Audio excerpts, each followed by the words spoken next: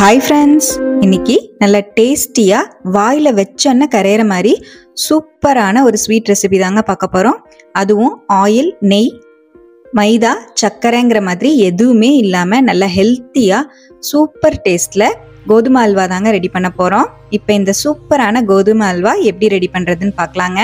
இப்போ இந்த ஹெல்த்தியான ஸ்நாக்ஸ் செய்கிறதுக்காக அடுப்பில் பேன் வச்சுருக்கேங்க. பேனில் ஒரு அரை கப் போல் கோதுமை மாவு சேர்த்துக்கலாம். கோதுமை மாவை லைட்டாக ரோஸ்ட் பண்ணிவிட்டு ஆட் பண்ணிக்கலாங்க. ஒரு ரெண்டு நிமிஷம் போல் லைட்டாக வறுத்துக்கலாம். அப்படியே மீடியம் ஃப்ளேம்லேயே வச்சு நல்லா வறுத்து விட்டுக்கலாங்க. இப்போ கோதுமை மாவை நல்லா ஒரு ரெண்டு நிமிஷம் போல் நல்லா வறுத்துட்டேன். லைட்டாக நமக்கு வாசம் வரும்போது எடுத்துருவோம். இப்போது வறுத்த கோதுமை மாவை ஒரு தட்டில் கொட்டி வச்சுக்கலாங்க. கோதுமை மாவை நம்ம இந்த மாதிரி வறுத்துட்டு சேர்த்துறனால பச்சை வாசம் இல்லாமல் நல்லா சூப்பராக அல்வா வந்து டேஸ்ட்டாக இருக்குங்க. முக்கால் கப் அளவுக்கு தேங்காய் வந்து எடுத்திருக்கேங்க. நம்ம எந்த கப்பில் கோதுமை மாவு அளந்தமோ அதே கப்பில் முக்கால் கப் அளவுக்கு தேங்காய் வந்து அளந்து சேர்த்துருக்கேன். மிக்சி ஜாருக்கு மாற்றிக்கலாங்க இதோடவே ரெண்டு ஏலக்காய் சேர்த்துருக்கேன். ஒரு கப் அளவுக்கு தண்ணி சேர்த்து நல்லா நைஸாக அரைச்சி எடுத்துக்கலாங்க. நம்ம இன்னைக்கு தேங்காய் பால் எடுத்து தான் இந்த அல்வா ரெடி பண்ண போகிறோம் ஒரு கப் அளவுக்கு தண்ணி சேர்த்து நல்லா தேங்காவை இந்த அளவுக்கு நைஸாக அரைச்சி எடுத்துட்டேங்க. பாலை மட்டும் தனியாக வடித்து எடுத்துக்கலாம். பாலை மட்டும் இந்த மாதிரி ஸ்ட்ரெயினர் வச்சு நீட்டாக வடித்து எடுத்துக்கிறேங்க. இந்த சக்கையை மிக்சி ஜாருக்கு மாற்றிக்கிறேன் இன்னும் ஒரு கப் போல் தண்ணி சேர்த்து நல்லா நைஸாக அரைச்சி எடுத்துகிட்டு வந்துடுவோம் நமக்கு மொத்தமாக ரெண்டுலேருந்து ரெண்டரை கப் போல் தேங்காய் பால் வந்து தேவைப்படுங்க. இப்போ ரெண்டாவது பாலையும் ஆட் பண்ணிக்கலாம். ரெண்டாவது பாலையும் சேர்த்துட்டு நல்லா வந்து ஸ்ட்ரெயின் பண்ணி எடுத்துக்கலாங்க. ரெண்டாவது பாலையும் நல்லா இந்த மாதிரி ஃபுல்லாகவே ஸ்ட்ரெயின் பண்ணி எடுத்துட்டேன். தேங்காய் பால் ரெடி ஆயிடுச்சு. இது இருக்கட்டும். அடுப்பில் பேன் வச்சுருக்கேங்க. பேனில் நம்ம புளிஞ்சு வச்ச தேங்காய் பாலில் ஒரு கப் போல் தேங்காய் பால் மட்டும் ஆட் பண்ணிக்கலாம். ஒரு கப் அளவுக்கு தேங்காய் பால் சேர்த்துட்டேன்.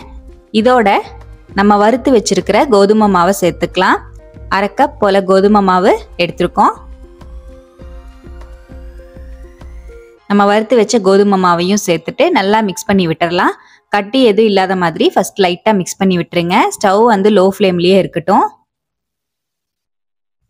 கட்டி எதுவும் இல்லாத மாதிரி நல்லா இந்த மாதிரி ஃபுல்லாக வந்து மிக்ஸ் பண்ணி விட்டுட்டேன். லைட்டாக கட்டி தட்டுற மாதிரி இருந்தாலும் நம்ம கலக்க கலக்க சரியாயிடும். இப்போ இதோடவே ஒரு முக்கால் கப் அளவுக்கு வெல்லம் வந்து ஆட் பண்ணிக்கலாங்க. பொடிச்ச வெல்லம் வந்து சேர்த்துருக்கேன். நீங்கள் வெள்ளை பாகு கரைச்சிட்டு கூட சேர்த்துக்கலாம். முக்கால் கப் அளவுக்கு வெள்ளத்தையும் சேர்த்து நல்லா கலந்து விட்டுருவோம். அரை கப் அளவுக்கு கோதுமை மாவுக்கு ரெண்டு கப் அளவுக்கு தேங்காய் பால் முக்கால் கப் போல வெல்லம் வந்து சேர்த்துனீங்கன்னா இனிப்பு சுவை கரெக்டாக இருக்கும். இப்போ மீதி இருக்கிற தேங்காய் பாலையும் சேர்த்துக்கிறேன். எனக்கு கரெக்டாக ரெண்டு கப் அளவுக்கு தேங்காய் பால் வந்து கிடச்சிருக்குங்க. எக்ஸஸாக இருந்தாலும் நீங்கள் ஊற்றிக்கலாம் ஒன்றும் பிரச்சனை இல்லை.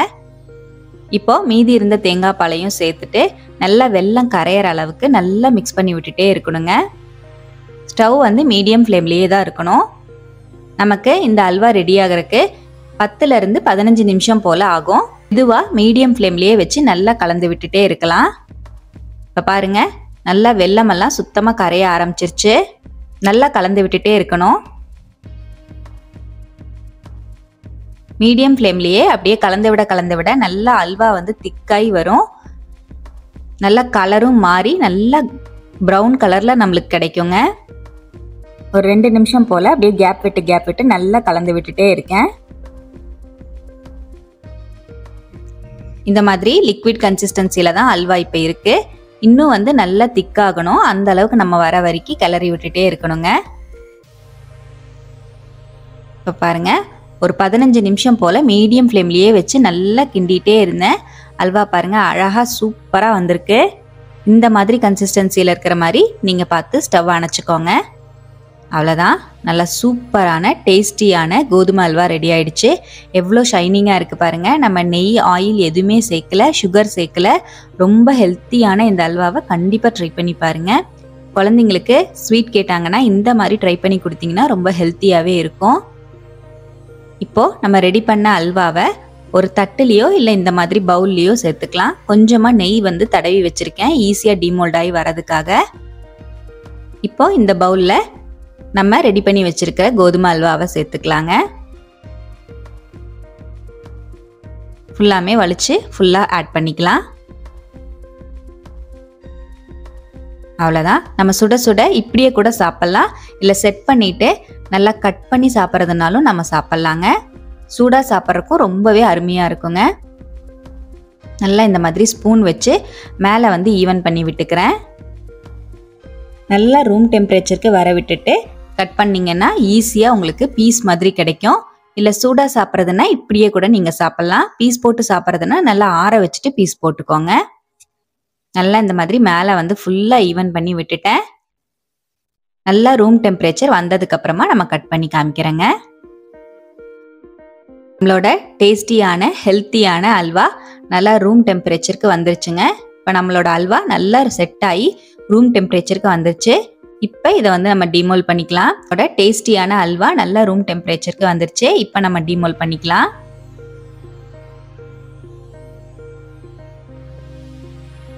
எவ்வளோ அழகாக செட் ஆகி வந்திருக்கு பாருங்கள் நல்லா சூப்பராக டேஸ்டியாக ஹெல்த்தியான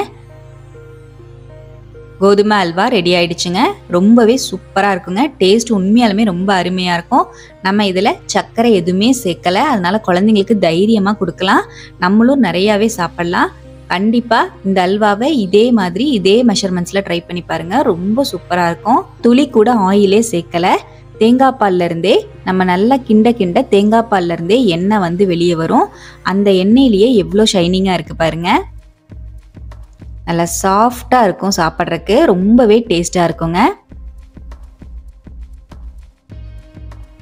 நல்லா சூப்பரான டேஸ்டியான ஹெல்த்தியான கோதுமை அல்வாவை நீங்களும் இதே போல் இதே மெத்தடில் ட்ரை பண்ணி பாருங்கள் ட்ரை பண்ணி பார்த்துட்டு எப்படி வந்ததுன்னு மறக்காமல் கமெண்ட்டில் ஷேர் பண்ணுங்கள் நம்ம சேனலை சப்ஸ்கிரைப் பண்ணாமல் பார்த்துட்டு இருந்தீங்கன்னா ப்ளீஸ் சப்ஸ்கிரைப் பண்ணி ஒரு சப்போர்ட் கொடுங்க. லைக் பண்ணி ஷேர் பண்ணி கமெண்ட் பண்ணுங்கள் தேங்க்யூ ஃப்ரெண்ட்ஸ் பாய்